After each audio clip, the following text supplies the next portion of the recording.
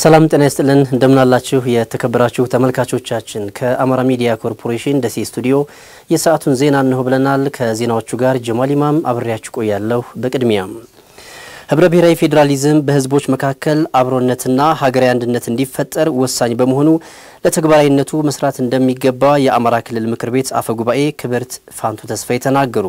የአማራ ክልል ምክር ቤት ከኢፌዴሪ የህገ መንግስትና ፌዴራሊዝም አስተምህሮ ማዕከል ጋር በመተባበር በየደረጃው ለሚገኙ አፈ ጉባኤዎች በህብረ ብሔራዊ ፌዴራሊዝምና የመንግስታት ግንኙነት ላይ ያተኮረ የግንዛቤ ማስጨበጫ የውይይት መድረክ በኮምቦልቻ ከተማ አካሂዷል። ተጨማሪውን አብረን እንከታተል። የአማራ ክልል ምክር ቤት ከኢፌዴሪ የህገ መንግስትና ፌዴራሊዝም አስተምህሮ ማዕከል ጋር በመተባበር ከክልል ምክር ቤት ጀምሮ በየደረጃው ለሚገኙ አፈ ጉባኤዎች በፌዴራሊዝም ህብረ ብሔራዊ ፌዴራሊዝምና የመንግስታት ግንኙነት ላይ ግንዛቤ መፍጠርን ዓላማ ያደረገ የውይይት መድረክ በኮምቦልቻ ከተማ አካሂዷል።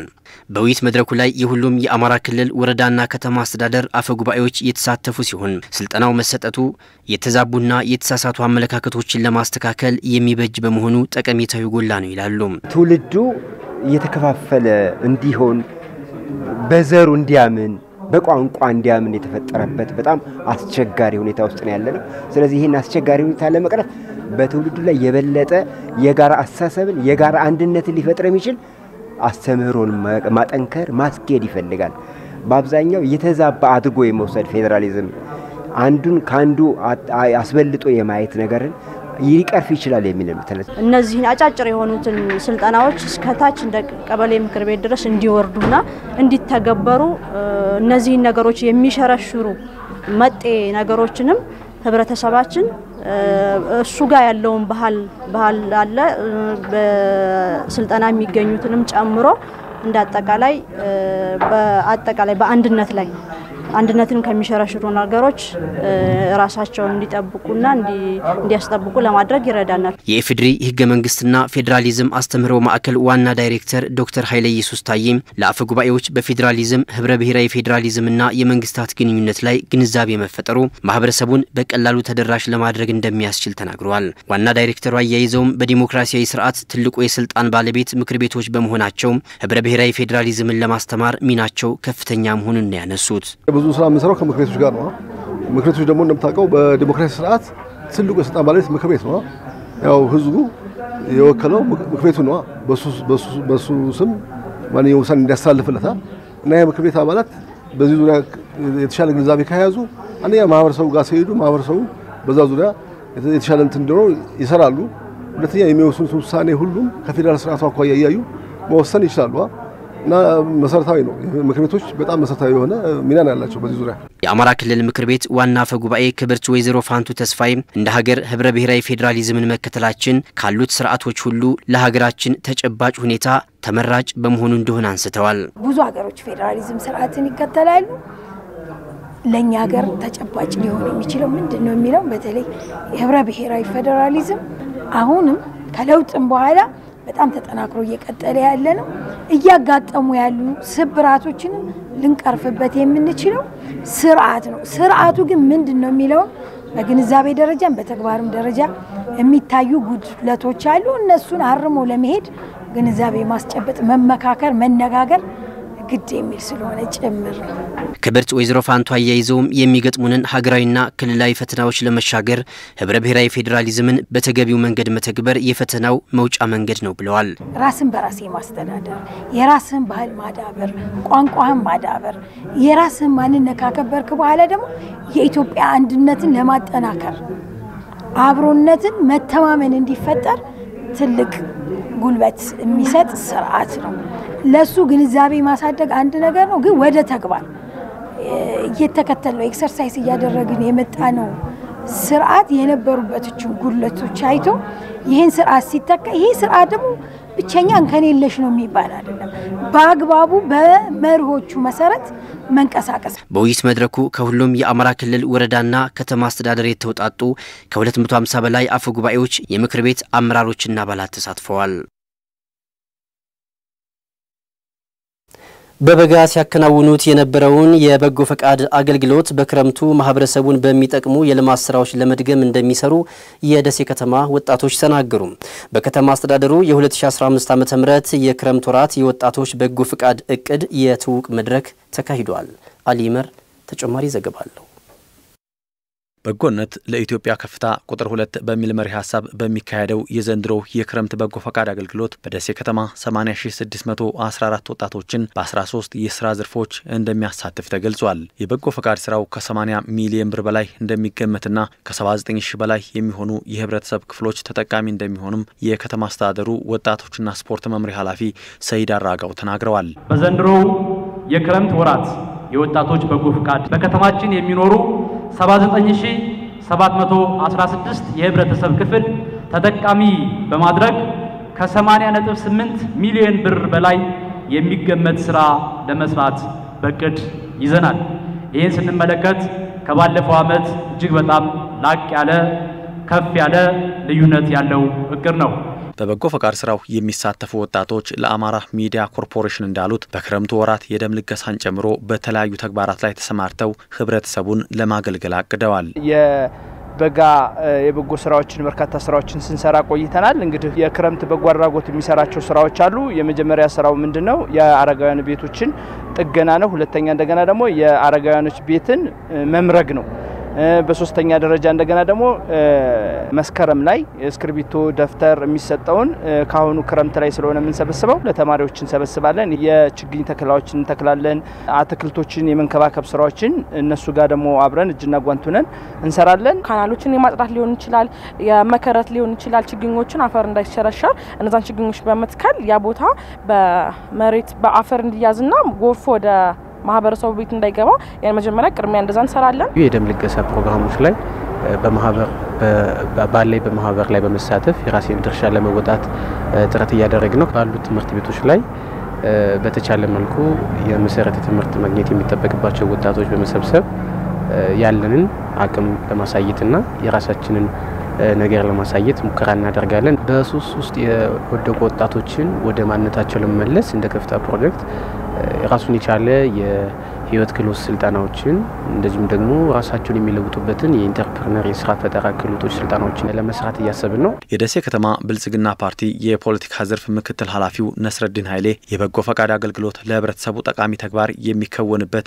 አገልግሎት መሆኑን ጠቅሰው ወጣቶች ለሀገር እድገት የበኩላቸው ሚና እንዲወጡም ጥሪ አቅርበዋል። የበጎ ፈቃድ አገልግሎት ከመስጠታቸው በተጨማሪ አሁን በሀገራችን ላይ የተጀመረውን የለውጥ እንቅስቃሴ ቀጣይነት ይኖረው ዘንድ ወጣቱ ግንባር ቀደም ተዋናኝ በመሆን ሚናውን መጫወት ይኖርበታል። የደሴ ከተማ አስተዳደር ኢንዱስትሪና ኢንቨስትመንት መምሪያ ኃላፊ አቶ አለባቸው ሰይድ በበኩላቸው የበጎ ፈቃድ አገልግሎት ምንም አይነት ክፍያ የማይገኝበት ያለማንም ቀስቃሽና ጎትጓች በራስ ተነሳሽነት የሚፈጸም ተግባር መሆኑን ገልጸው ብሔራዊ መግባባት ለመፍጠርና የሀገር ፍቅር ስሜትን ለማሳደግ ከፍተኛ ሚና እንዳለውም አንስተዋል። ሀሳቦችን ከወዲያ ወዲህ በማንሸራሸር ብሔራዊ መግባባትን በመፍጠር የሰላም እሴቶችን ያዳብራል።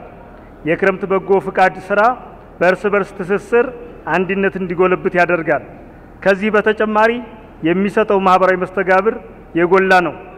ምሁራን እንደሚናገሩት አሁን በሀገራችን እየተፈጠረ ላለው የኢትዮጵያዊነት ስሜት አስተሳሰብም በዚህ አይነት መንገድ እየመጣና ከበጎ ፈቃደኝነት አገልግሎት ጋር በጋራ በእጅጉ የተቆራኘ ነው። ስራው ስኬታማ እንዲሆንም ባለድርሻ አካላት እንዲተባበሩ የደሴ ከተማ አስተዳደር ወጣቶችና ስፖርት መምሪያ ጥሪ አቅርበዋል። በየደረጃው ያላችሁ የከተማችን የክፍለ ከተማ የቀበሌ አመራሮች እንዲሁም ባለድርሻ አካላት በሙሉ የጋራ ርብርብ አድርገን ልክ እንደ ባለፈው ዓመት የተሳካ ስራ እንድንሰራ በዚሁ መልእክቴን ለማስተላለፍ እወዳለሁ።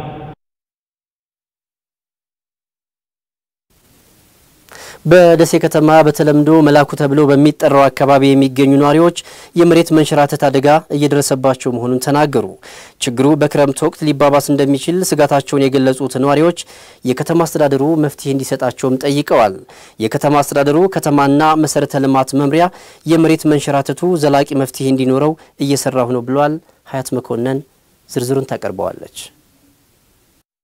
በደሴ ከተማ በተለምዶ መላኩ ተብሎ በሚጠራው አካባቢ በዚህ ዓመት የጀመረው የመሬት መንሸራተት አደጋ ከጊዜ ወደ ጊዜ እየተባባሰ መጥቷል። በአካባቢው በአረንጓዴ ልማት ስራ ላይ የተሰማሩ ግለሰቦች ጉዳዩን ለከተማ አስተዳደሩ ብናሳውቅም እስካሁን ምላሽ አልተሰጠንም ይላሉ። 2015 መስከረም መጨረሻ አካባቢ ላይ ነበረ ቦታው ትራክ ማድረግ የጀመረው። ያኔ ይሄን ያክል አልሰፋምም አልረዘመም ነበረ። የከተማ አስተዳደሩን ጨምሮ አቶ ሳሙኤል መጥቶ አይቶት እንደሚሰራና በአስቸኳይ ወደ ስራ እንደሚገቡ ነግረውን ነበረ። አስቸኳይ መፍትሄ ግን እስካሁን መሰጠት አልቻለም። አሁን የደረሰበት ደረጃ እንዲደርስ የሚሆነው ከፍተኛ የሆነ መንሸራተት ደረጃ የደረሰው አፋጣኝ መልስ ያለመሰጠቱ ሂደት ነው።